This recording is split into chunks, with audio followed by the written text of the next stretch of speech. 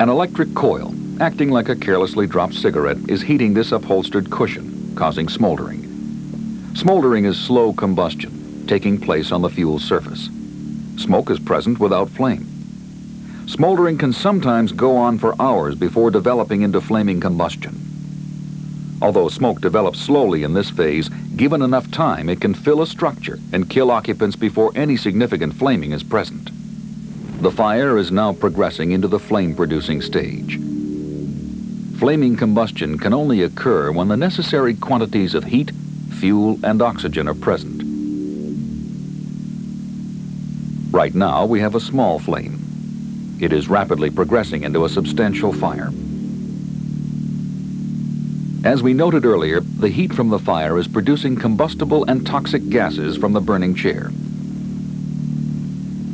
A smoke detector has been placed just outside the room. The fire has now given off enough smoke to activate the alarm, telling occupants to make an immediate escape. The buoyant nature of the gases released from the burning chair causes the flame to spread upward. Heat from the rising flames quickly ignites the draperies en route to the ceiling. The temperature at the ceiling above the chair is now 570 degrees Fahrenheit, 300 degrees Celsius. If a residential sprinkler had been placed 8 feet diagonally from the corner, it would now activate, sounding an alarm and discharging water. Fire damage would be confined to the chair and curtains. The buildup of smoke and its toxic gases has now thickened into a hot, dense cloud in only 70 seconds since the first appearance of flame. This mushrooming cloud of hot, thick smoke and gas begins to act like a space heater, radiating heat downward. The paint and wall finishes, the furniture, paper, fabric, wood, and plastics in the room are beginning to decompose from the blistering heat. And as they decompose, they contribute to the buildup of toxic and flammable gases. The smoke level continues to descend and is now four feet above the floor. The temperature at the floor has reached 212 degrees Fahrenheit the boiling point of water.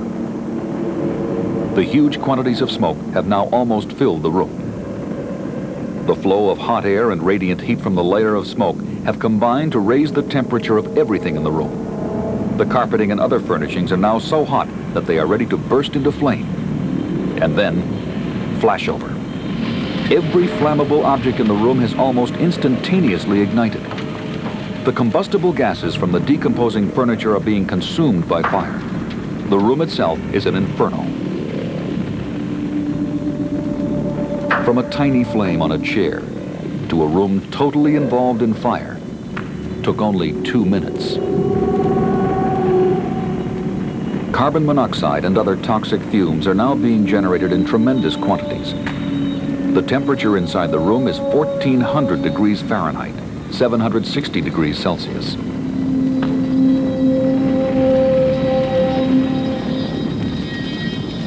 A room that flashes over becomes like a furnace unable to contain the heat it is generating, unleashing incredible flame, heat, and toxic gases throughout a building.